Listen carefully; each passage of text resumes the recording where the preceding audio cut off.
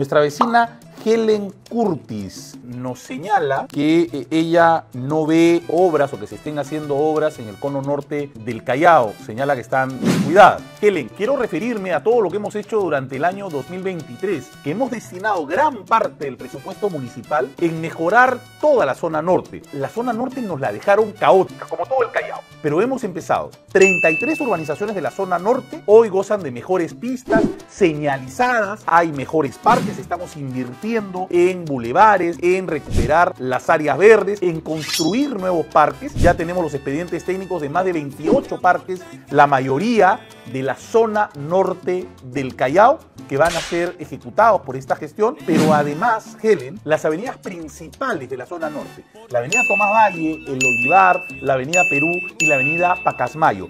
Este es el documento que el Ministerio de Vivienda, porque hemos tocado puertas a todos lados, nos da ya la autorización de las avenidas principales que hemos hablado de la zona norte. Así que te pedimos un poquito de paciencia. Ten por seguro que todo este año verás un gran cambio en toda la zona norte del Callao, porque con más obras en este nuevo Callao progresamos todos.